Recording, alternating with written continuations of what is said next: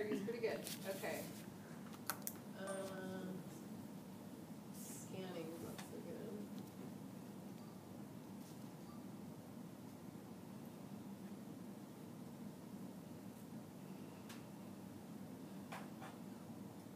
Okay, what kind of tissue is this? Skeletal? That's skeletal muscle, yeah, it's, it's, uh, coloring's a little weird. This is, we got some cross section. There's a pretty decent section right here, okay. This is the tongue. Your tongue is a skeletal muscle, yeah, and some of you guys saw the epithelia covering your tongue. So there's no epimysium around the tongue, right? Because it's got the epithelial, you got your stratified squamous epithelia on your tongue.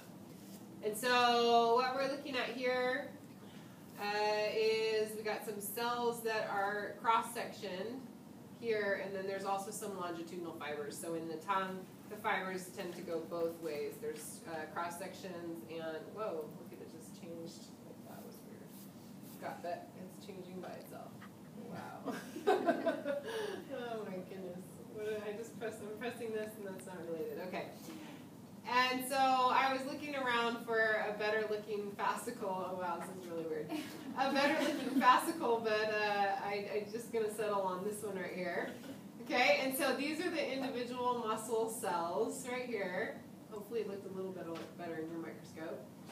Okay, and so then this is a fascicle more or less right here. I know it's not super clear. Wow. Okay, maybe we'll get the other one back for for Monday.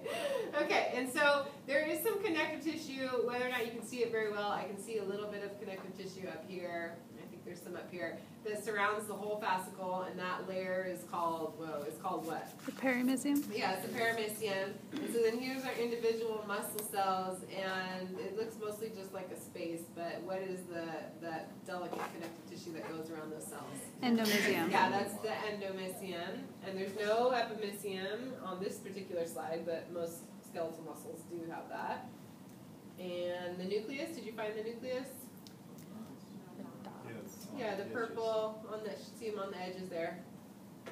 Okay, that's a little scary. Any questions about that one?